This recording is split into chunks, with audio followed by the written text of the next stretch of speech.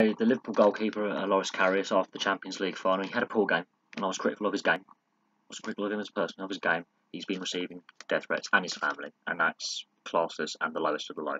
Sadly, there is precedent for this happening, not just in football, but in multiple sports. I'm going to focus on football. The case of Andres Escobar, murdered because of an own goal he scored at the World Cup in '94.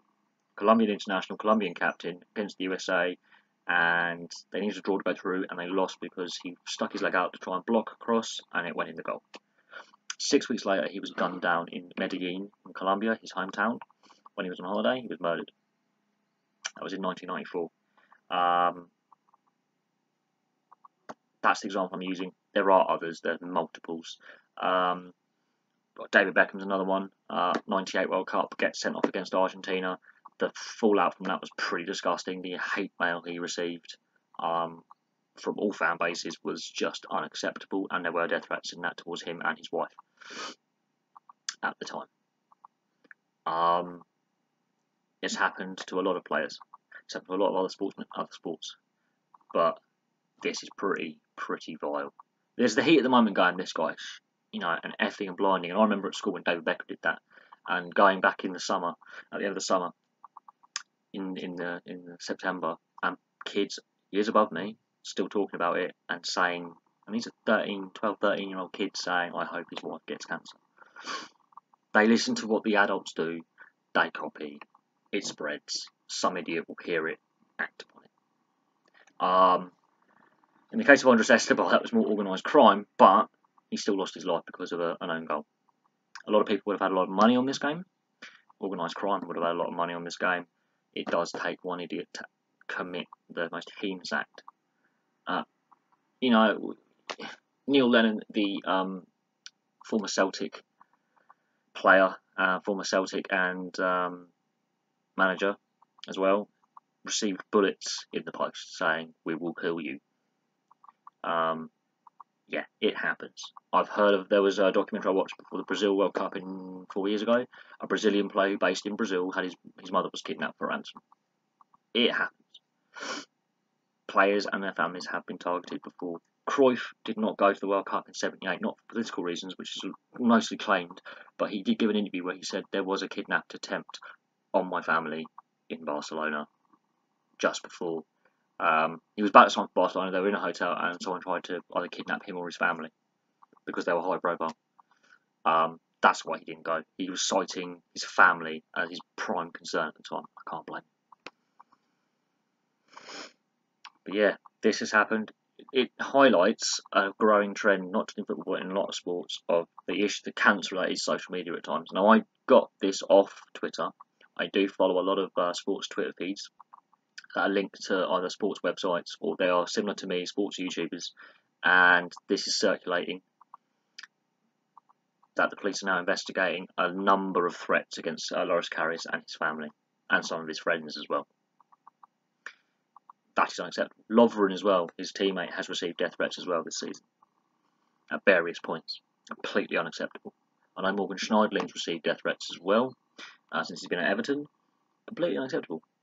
Um, I think Mourinho has, John Terry has in the past. There is a litany of of of um, incidents, and there seems to be more and more in recent times. The, the, the, the bigger social media gets, the more these threats persist. But I do remember David Beckham. I remember Escobar. There have been others. There have been players' houses broken into. Um, threats to kidnap. It happens. It's happening more and more. Uh, the wealthier these players get, the more money they have, the more these things seem to happen. Correlation there. But uh, this is completely disgusting. I want to hear from Liverpool fans what their view on this is. I'm assuming 99.9% of them will be disgusted by that tiny minority of Liverpool fans, or those other neutrals who may have had money on the game, you know, a bit pissed off. A minority of football fans are doing this. I wouldn't be surprised if Sergio Ramos has also received death threats for the Mo Salah incident and the elbow on Karius. Wouldn't be surprised. But no, I, I'm, it is a concern that I have as a sports fan that going into this World Cup, a player is going to have a shocker. Do a David Beckham get sent off? Do a Karius have a, a sloppy goalkeeper performance? And have the same abuse that Karius has had over the last 20 odd hours. It's completely unnecessary, completely unacceptable. And there's a reason why Liverpool got that Champions League finals because of his performances in goal. Some of the saves he pulled off and his, his strong, good play. Okay, he's a good goalkeeper. He still needs to develop a little bit more to take that next step to be a great goalkeeper. And I think in that press situation, just had a bad game. Didn't deliberately decide to go, yeah, I'm going to roll the, you know. He was trying to play the way Klopp wanted to play for the first goal, be quick with the possession out, counter attack, and it went wrong. Benzema you know, had him there, outthought him. Fair enough. Benzema was very smart in his play. I've seen that happen before with a goalkeeper's not expecting the player to be there, and it has happened. The third goal, I've seen goalkeepers mishandle shots before. Technically, he got it a bit wrong, and that's down onto the coaching staff and the player, but hey, he's human. I think most fans are disgusted with the threats against him and his family. This is all broken in the last hour we'll see how seriously the press, uh, the mainstream press, because I know some independent websites with independent journalists are picking this up.